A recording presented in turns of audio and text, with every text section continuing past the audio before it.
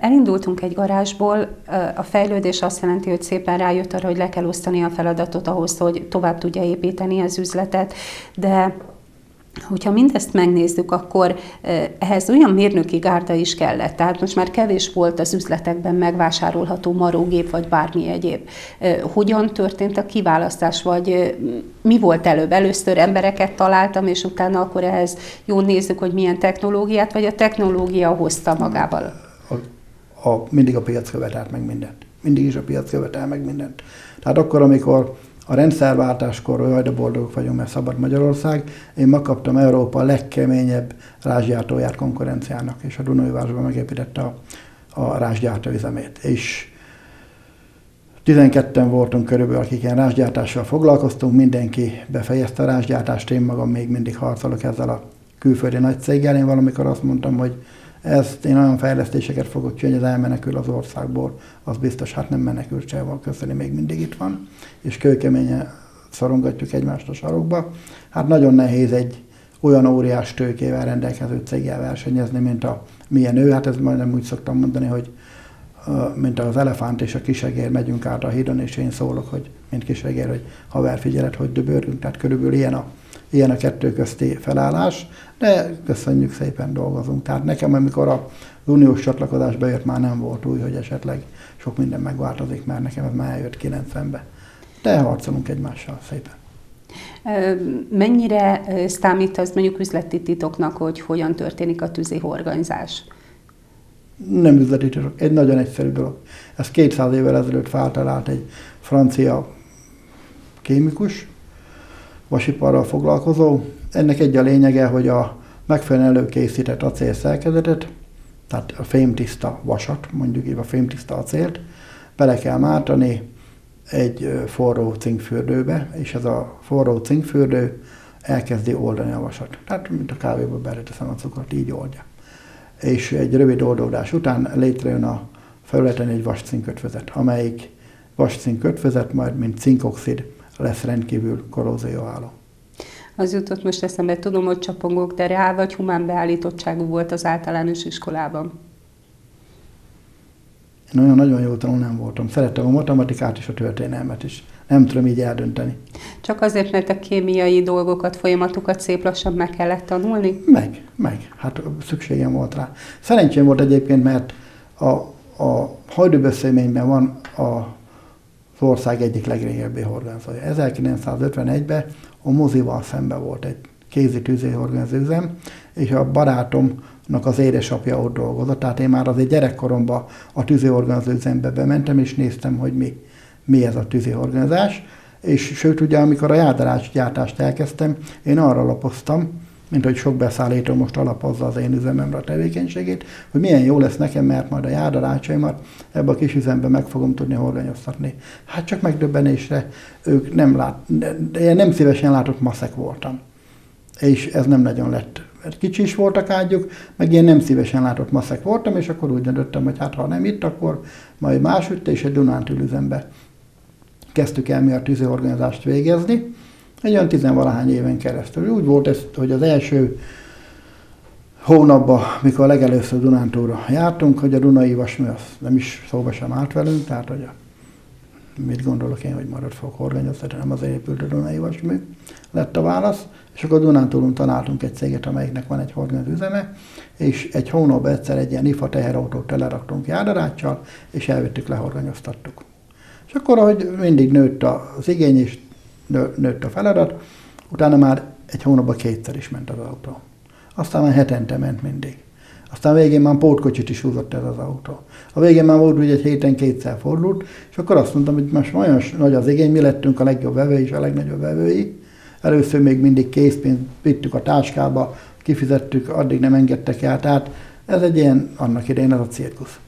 És a végén mi lettünk a legjobb vevői, mikor egyszer egy nagy megrendelésnél úgy emeltek organizási árat, hát most én a másik oldalon állok, tudom, hogy milyen ez, úgy emeltek organizási árat, hogy az nekem az egész hasznomat elvitte, és akkor másokat gondolkodtam rajta, hogy hát jó lenne egy ilyen organizót. Kaptam is tanácsot horgazó szakiktól, hogy miért nem építek el a keleti végeken egy ilyen horgazó üzemet, és Hajdúbeszényben nem találtam telephelynek valót. Sajnos elkövettem azt a hibát, hogy évekig keresgéltem, hogy hol lehetne hajdúbeszényben, de sehol nem volt a város külső részén egy olyan üzem, ami környezetvédelmi szempontból megfelel, és akkor itt találtam meg Tiszacsegét, egy volt mezőgéptelepet, amit sikeresen kirabolt a külföldi befektető, és felszámolásba ott maradt, és a felszámolótól vásároltam meg, amikor már két évig már, már nyilázárókat is szétszették, meg mindent elvittek.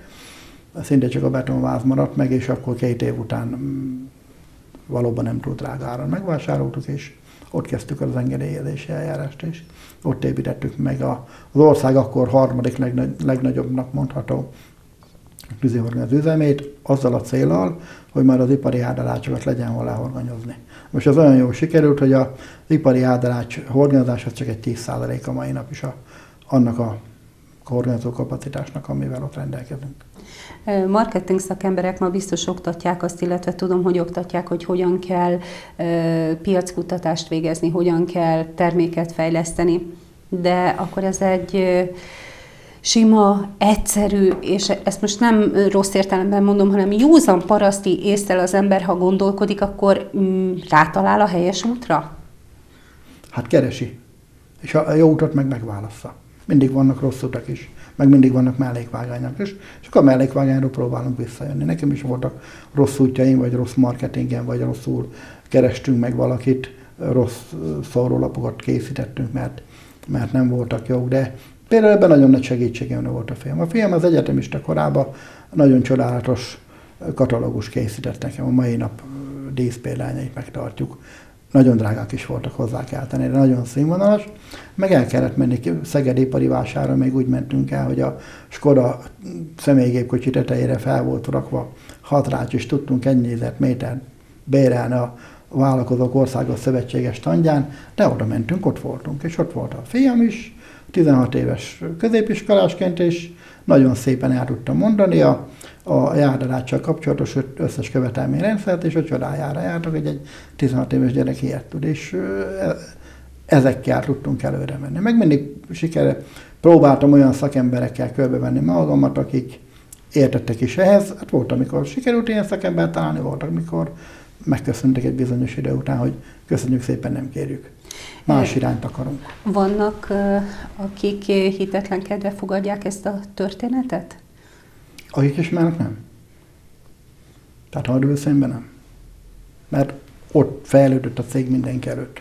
Mi nem privatizáltunk, mi valóban egy kis üzemből épültünk, és ott van, hogy gyakorlatilag a üzemem a, a, az még tanyának számított, most már Kinis utcának nevezték el, akkor jött a Rikó, aztán, mikor már ezt az üzemet is kinőttük, akkor a szalagzsinórgyár is eladásra került, mert akkor a kötszergyártás után a, szalagzsinórgyártás szűnt meg, azt már ott a termelés nem vittük tovább, de megvásároltuk azt a telephelyet, és most ott egy hat vagy hét csarnokba elég, elég komolyan foglalkozunk a járulásgyártással.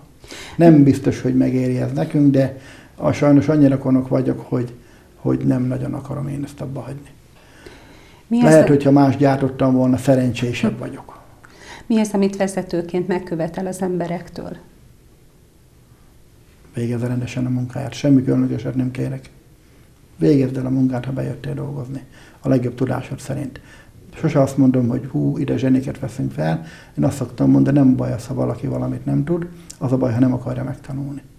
Ha valaki odajön, mondjuk van egy egy egyetemi végzettség, egy fiatal kislány, és még a könyvelésről semmit nem tud, semmi baj nincs. A többi kollégák megtanítják, meg a gazdasági igazgató azt, hogy megtanítja vele, akkor van baj, hogyha nem akarja. Val, jártunk így, hogy most könyvelő kellett pont, és hát ő meg se gondolt, hogy ilyen sok munka van. Semmi baj nincs, még nem telt el a három hónap, barátsággal elválunk egymástól. Tehát a munkabecsülete ezt megtanulta? Hát gyerekkoromban elég szigorú rendben nevelkedtünk, ott meg kellett tanulni dolgozni. Én azért nem is értek egyet mondjuk ezzel a fogalom, hogy munkanélküliség. Hát munka az mindig van. Mindenütt van. Sikeres embernek tartja magát? Hát úgy gondolom, hogy nem vagyok sikertelen, én annyira nem szoktam ezzel dicsekedni. Köszönöm szépen. Úgy gondolom, hogy nem is akartam én ennyit elérni. Tehát én mindig álmodoztam arról gyerekkoromban, hogy de jó lenne nekem is, mint a tehát egy gyerekkoromban sokat nézegettem, a, akkor még az 50-es, 60-as években voltak ilyen lópatkolókovács műhelyek a városba, ugye rengeteg volt a lovaskocsi, és én mindig beálltam az ajtóba, és mindig, mindig néztem azt az izzóvasat, hogy hogy formálják meg, meg ütik és meg vágja is, és milyen jó neki, hogy ezt csinál, vagy a iskolába jöttem, és a műsz, bicikli műszerésznek a milyen szép műhelye van, vagy szétszettem a biciklit otthon, meg összeraktam, még lehet, hogy vigyáztam, hogy a édesapám meg ne tudja, mert lehet, hogy jól elvert volna érte. De, de szerettem.